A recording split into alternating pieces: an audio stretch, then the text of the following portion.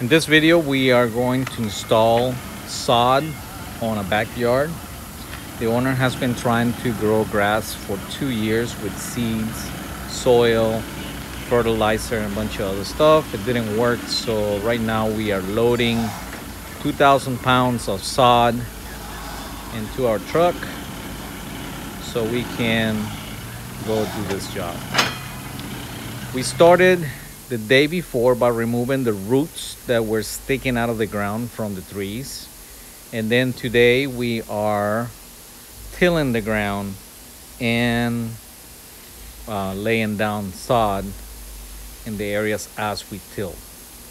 Uh, the important thing is that we till right before we lay it down. That way the, gra the ground, the soil is really nice and loose. After laying one side, we're gonna go ahead and do the other side and we continue the process and we'll show you the final result in a minute.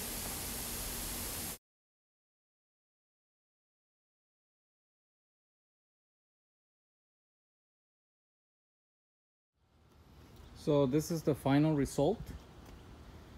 We laid down 850 square feet of sod in this area.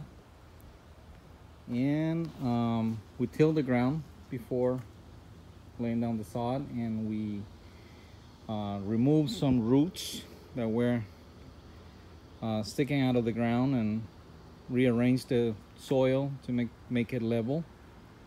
And lay down 850 square feet of sod. Now we are going to make sure that the reprogram the sprinklers to make sure that it gets at least one hour of water during the night to make sure that our investment doesn't die because of lack of water. This was about five hours of work because of the tilling and the removing of the roots and 850 square feet of sod, two pallets, two pallets of sod, sod. Um, to get a quote, just go to our website, type your address, and we do have an online tool that will actually measure your lot and we can give you a quote without even having to come out to your property. Thank you very much for watching. Have a great day.